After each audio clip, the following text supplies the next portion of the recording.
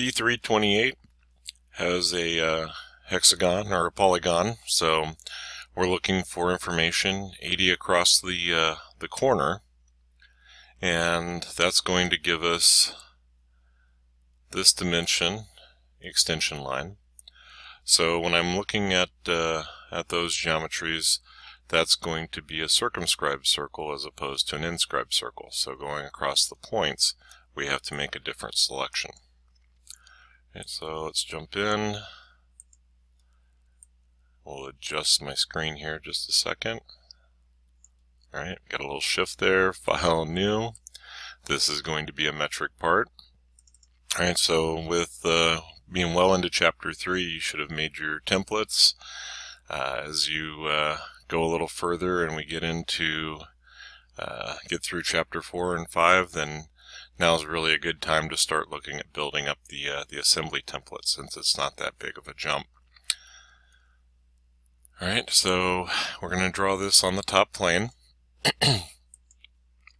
and a good location would be the, uh, the center of the, uh, the polygon. So we'll come up to the polygon tool. It does have six sides we have the check mark for the inscribed and the circumscribed circle. And I'm going to place it at the center. I have the yellow inference that uh, coincident that's telling me that I'm going to get that relation. And then I'm going to kind of get it close. All right, there we go. And then I can accept. And the polygon requires we give it the dimension. So going to the um, to the circumscribed circle, I can dimension or I could dimension from the points, but a lot of times grabbing those circles is about as easy as anything. Then any of the flats, one of those needs to be horizontal to bring it to uh, being a fully defined sketch.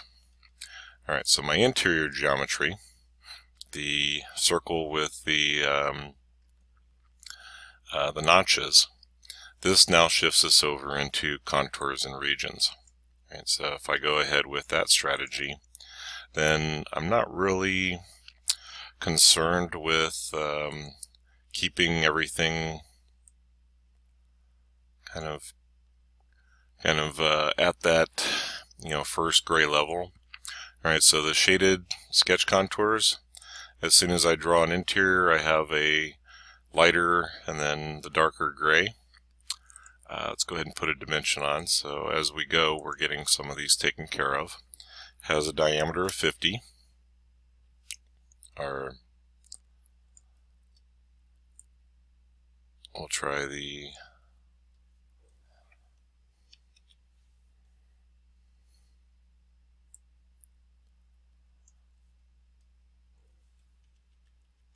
undo a couple times. I lost uh, I lost track of that. All right, so we'll try 50 this time instead of 80. There we go. All right, so a good one for this to generate the notches is rather than draw individual segments, I'm going to draw a couple of center rectangles. And that will give me the overlap. So since these are 12 millimeters wide, and let's see, have a length of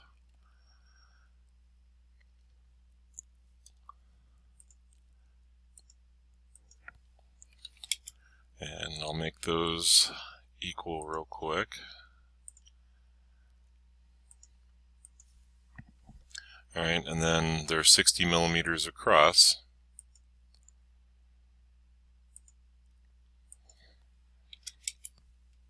Alright, and then back into select, and any of the edges there will also be equal. So even though that looks pretty complex, what I'm really going for is this outside shape. Alright, so all of this interior, not so concerned unless that was part of the uh, the geometry, but we'll see what we can uh, what we can pick there. So I have a fully defined sketch. I've added uh, all the relations that I can uh, I can think of. The contour I like to add in first so I get that preview. So if I don't see the yellow amber preview, then that is an indicator that we're going into contour and region. So once I pick the, the region, then I will get the preview minus the interior. And If we come back and grab the outside, then it's going to be a solid shape, ignoring all of the interior geometry, assuming that we're going to do something different. So we'll grab that piece. It has a height of 35.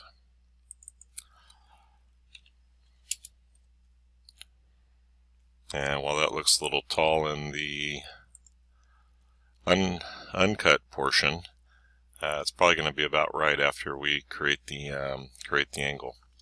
Alright, so on the drawing I'm clocked 90 degrees and I don't really need to change that. If I did, we could go back into the sketch and wait for it to catch up. I could go back into the sketch by right-clicking, editing the sketch, and remembering that I set that line as horizontal, I would take that horizontal off and make um, make one uh, vertical. So the question would be, if I do that, will this center go with it? And the answer is probably not. So let's go uh, let's go and set that to vertical, and it shifts around the outside, and well, because of the symmetry, it actually uh, still ends up in the same position. But if I was expecting this interior to move, and let's see if we did a uh, control Z real quick as an example. If I move it just a little bit, the interior is not moving with it. So because I drew it in that original, I'm going to just discard the changes. Um, so it goes back with the uh, the horizontal. Um, I want it to stay in that uh, original and whatever my motivation for wanting to change it, we're going to just decide to live with it for this um, uh, this example and next time make a different decision. So on the right plane,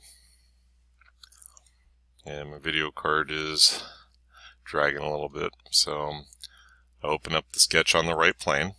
If we drew in the rotating rotated uh, portion, then I would still be looking for that um, that plane that bisects. So if it's like the figure in 328, then I would probably be selecting the front plane.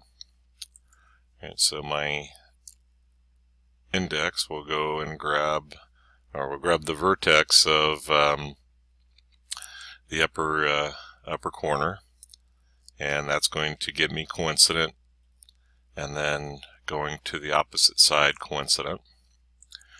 I need a dimension of 15 from the base. Alright, and then this is probably a good point to review the um, the projection. So I selected this line as my baseline, but when I look at that in terms of the right plane,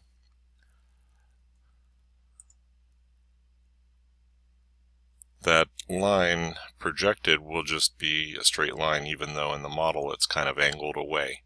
So SOLIDWORKS doesn't really care as long as the projection into that plane is something that can be selected and stays uh, will stay linear to the uh, to the sketch. All right, so at this point I have a an open profile and I don't really need to close off the triangle to make this work. The geometry doesn't need to be more more complex than this. We're going into the extrude cut. I want to pay attention to the arrows. Right now I'm going in one direction and we're going to go through all both. Kind of will indicate that we're going down. So I want to flip the side to cut by clicking on the arrow or coming over to the property manager and selecting flip side to cut. Go ahead and make the selection. Now I have my geometry. And so we'll go ahead and save this and then get ready for the next uh, next example.